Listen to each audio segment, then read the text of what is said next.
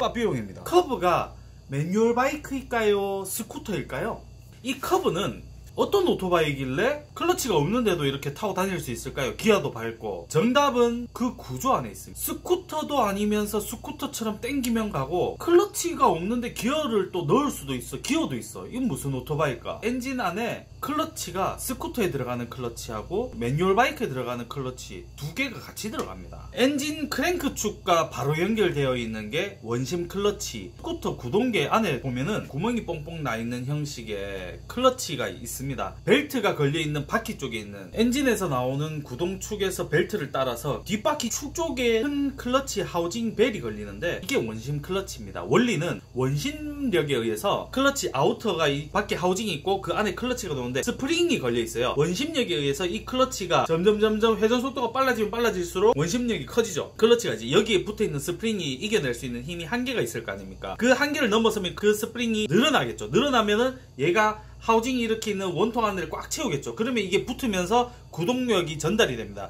모름지기 클러치는 동력을 on off 할 수 있게 해주는 스위치라고 생각하시면 됩니다. 커브 안에 보시면 엔진에서 나오는 출력 측 원심 클러치가 들어갑니다. CT 같은 경우에 보면은 한번 엔진을 작업을 했거나 오토바이를 한번 막 뒤집어 엎어져 가지고 세웠는데 갑자기 오토바이가 すべる 치고 잘 안 나가는 이유가 원심 클러치는 건식 클러치입니다. 건식 클러치. 어, 여기에는 오일이 들어가면 안 되는데 이 부분에 모종의 오일이 들어가 버려 가지고 스쿠터는 똑같은 방식의 클러치입니다. 모양은 조금 다르게 보이더라도 스쿠터와 같은 방식의 클러치인데 여기에 오일이 들어갔다. 그러면은 이제 여기서 slip이 발생해서 CT가 오토바이 타다가도 이제 좀 잘 안 나가고 막 그 뭐라 해야 ふかし를 줘야 되고 막 이런 경우도 있어요. 많진 않지만 드물게 그런 경우가 발생합니다.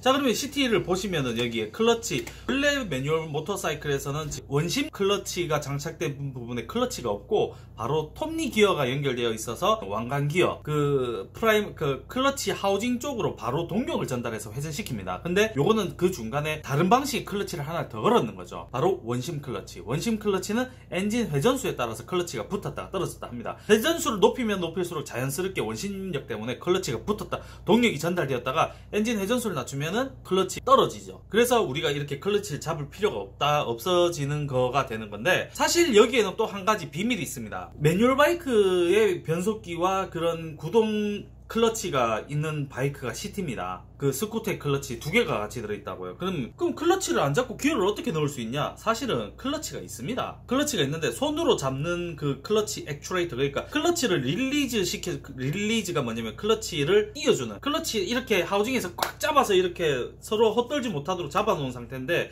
이 간격을 살짝 띄워주는 release 시켜주는 장치가 있는데 보통 우리는 그 release 장치들 끝에는 이렇게 뜨죠. 이렇게 뜨면은 이 클러치가 헛돕니다. 클러치가 헛돌 때가 이제 클러치를 잡았을 상태, 레버를 잡았을 상태입니다. 클러치 레버가 달려 있고 손으로 클러치를 잡게 되는데 그게 아니고 이 CT, 커브 이 종류들의 바이크에는 기어 변속 페달을 밟죠. 기어 변속 페달을 밟을 때 shift drum이라고 기어 이제 shift fork들이 연결되어 있는 그 부분까지는 깊게 이야기 안 하겠습니다. 그냥 밟으면은 기어 변속을 하게 해주죠. 그 기어 변속해주는 그 fork에 장치가 연결되어 있어서 기어 변속 페달을 밟고 있는 동안은 클러치를 일부러 띄워주게 해주는 역할을 합니다. 그래서 클러치 페달을 밟아서 기어를 넣었을 때 기어가 잘 들어가고 무사히 잘 들어가는 거예요. 반면에 커브 바이크도 rev matching을 할 수 있고 엔진 브레이크가 걸리는 이유가 이 클러치 때문인데 rev matching은 어, 이런 클러치의 특성 기어 페달, change pedal을 밟고 있을 때는 클러치가 띄어져 있어요. 페달을 놓으면은 클러치가 다시 이어지고 그래서 그 점을 이용을 해서 기어를 내릴 때 어, rev matching을 할 수 있습니다. 페달을 밟고 있는 상태에서는 앞에 원심 클러치가 있더라도 지금 기어가 중립인 상태이기 때문에 공회전이 가능합니다. 빵빵 되죠. 그걸 이용해서 이제 rev matching을 하면서 이제 shift down을 할 수 있어요. 이 구동 방식 문제 때문에 커브나 이런 계열의 바이크들은 그 엔진 회전수를 높인 다음에 기어를 연결하면은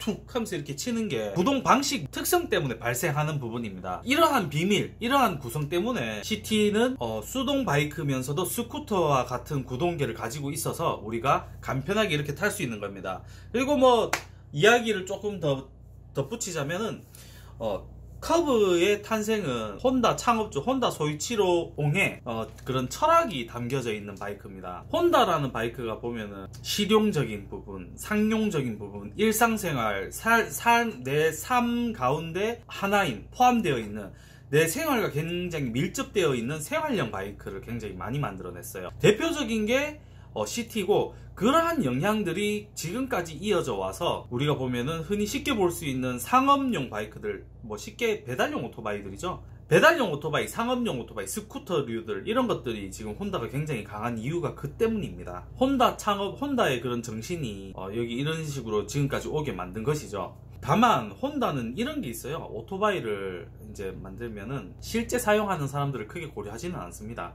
실용적이게는 만들지만 그 실용적이게가 어디까지나 오토바이를 개발하고 만드는 사람 입장, 엔지니어 입장에서 실용적이게끔 만들지 실 사람들이 원했을 때 실용적으로 만들지는 않아요. 그리고 막상 그 오토바이는 엔지니어 입장 눈 그러니까 시점에서 만들어지다 보니까 엔지니어가 봤을 때 아, 요 정도면 괜찮겠지 해서 출시를 하지만 실제로 사용하는 사용자들한테는 뭔가 2% 부족한 느낌을 받게 만드는 게 그러한 이유 때문이죠. 뭐 예를 들자면 이런 겁니다.